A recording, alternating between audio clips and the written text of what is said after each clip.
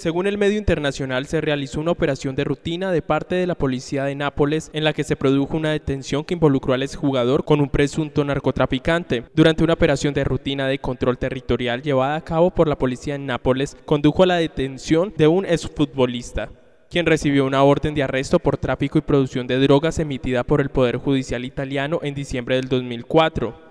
Un excelente arresto no tanto por el fugitivo dentro de las grandes organizaciones que exportan cocaína a todo el mundo, sino por su pasado. Los fanáticos del fútbol sudamericano conectarán de inmediato el nombre de Anthony de Ávila Charris, llamado el Pitufo por su estatura de apenas un metro con 57 centímetros. A ese futbolista que ganó fama y gloria en su país jugando para la selección de América de Cali y en la selección nacional y que dedicó al jefe del cartel de Cali, Miguel Rodríguez Orejuela, una victoria de la selección Colombia durante el Mundial de Francia en 1900. Tras dejar el fútbol, el Pitufo estrechó sus relaciones con ese mundo de los narcos, al que siempre ha estado vinculado por profunda amistad y empezó a operar en su nombre en el exterior. Los delitos por los que fue perseguido por el Poder Judicial italiano se cometieron presuntamente en el 2001 en Nápoles y Genova. Por el momento no hay confirmación por parte del jugador o de su familia sobre esta delicada situación.